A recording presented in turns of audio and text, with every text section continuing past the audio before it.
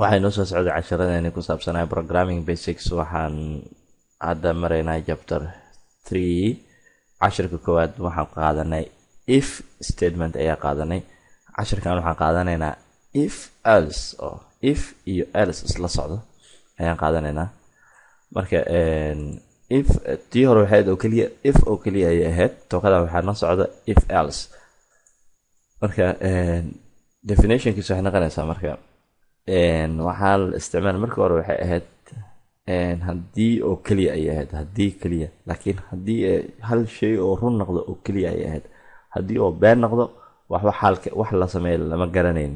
Marka tokadan waxaa waxaa loo isticmaalaa bodigiisa if boolean expression ayaa bracket u sameynaysaa then casa calculation ku sameynaysaa haddii oo true noqdo waxaa soo bandhigaysaa marka bodiga ayaa soo bandhigaysaa body of conditional statement ayaa soo bandhigaysaa haddii laakiin oo false noqdo boolean expression haddii oo false noqdo alice waxa ku jira ayaa soo bandhigaysaa marka waa sidaas waaye how it works.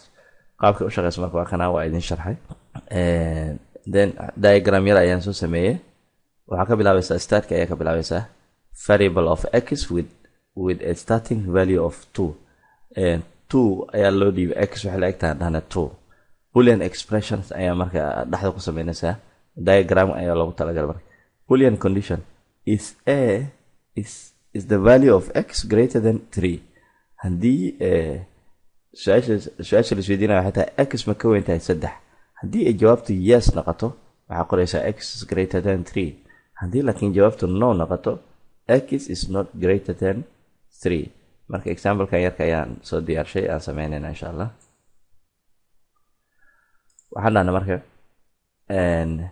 integer x waxay la eg tahay two ayaan dhahnay. Marka if x is greater than three waxaa iisoo qortaa x is greater than three. Haddii kale if else haddii kale console right line x is not greater than three. Hadda marka ran ayaa leenahay. Waxaa noo soo qoray x is not greater than three. X kama weyno saddex ayuu noo soo qoray. Haddii laakiin xarafkan labadan aa bedelno oo ka dhigno afar ka dhigno haddii afar ka dhigno maxaa dhacaya? Waa isbedelayaa x is greater than three. Marka marka kan samey sidoo kale wuxuu xisaabinayaa programku wuxuu imaanayaa meeshan ayuu soo gelayaa wuxuu jagareynayaa x oo ah four. Ayuu wuxuu u barbardhigayaa three ayuu u barbardhigayaa marka four haddii ay ka weyn tahay saddex kanii soo qorayaa dhahday marka waa la ogyahay four saddex bay ka weyn tahay dan wuxuu soo qorayaa kan ayuu soo qorayaa. Intan dambe dhan wuu iska iloobaya waa laga boodaya laakiin haddii laba ay ahayd oo kale oo isweydiiyo labo waxay ka weyn tahay saddex isweydiiyo.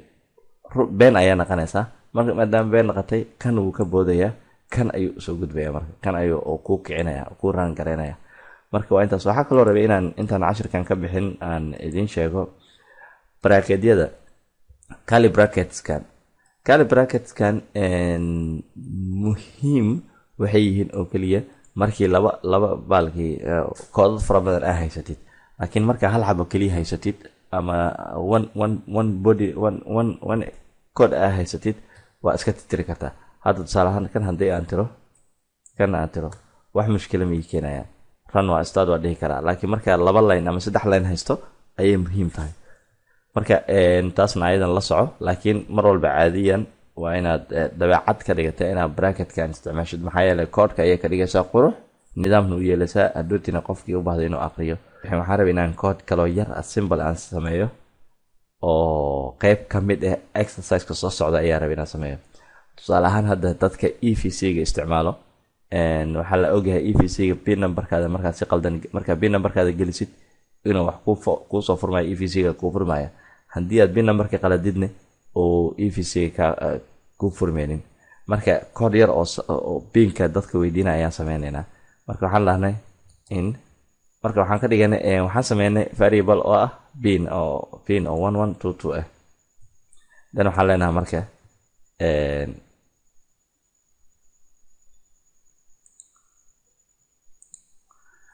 marka waxaan dhahnay pinka caadiga ah oo e v c-gaada lagu sameeyey waxaan dhahnay wuxuu leeyahay one one two two ayaan dhahnay then userka waxaan weydiinaynaa geli binkaaga e v c-ga ayaa weydiinaynaa.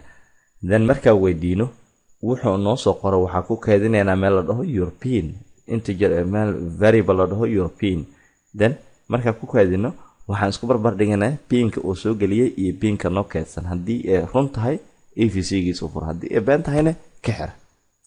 Marka sidaan ayaa u qoraynaa marka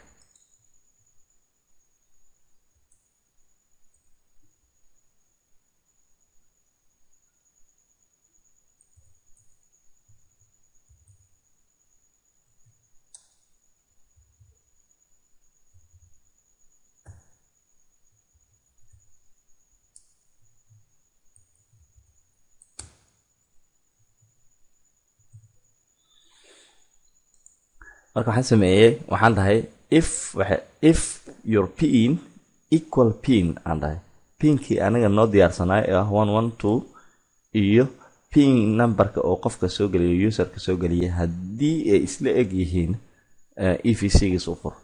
Haddii kalena pinkaada uu weydii. Hadda haddaa kicino waxaa noo soo baxay. Fadlankii numberka ahaa inoo keensanaa ahaa saxda ahaa haddii aa qoro wuxuu iisoo qoraya ku soo dhawow e v c plus ama ama itus haraaga maxaa la dhahay lacag wareeji lacag saanyeel inta wixii e v c ga dadkii yaqaana waaye dadkii aqooni e v c ga waa waa nidaam ay hormuud ay ku shaqeyso shirkadda hormuud ee ee soomaaliya ka howlgasho. Marka qofkii xamar soomaaliya ku noolna wuu fahamsan yahay sharaxadun baan ninkii dibadda ku nool aan weligiis e v c arkin. E v c waa nidaam lacag kala wareejin ah mobeelada shirkadda hormuud dadka ku isticmaalaan. Haddii aan biin qaldan geliyo kale maxay soo baxay? Biinka aad gelisay waa qalad.